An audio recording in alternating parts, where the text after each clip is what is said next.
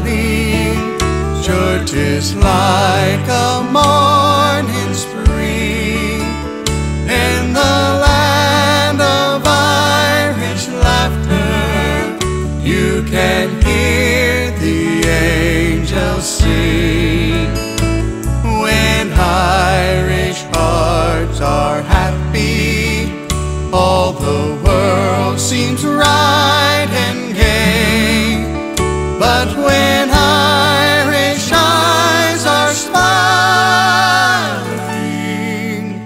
sure they'll see.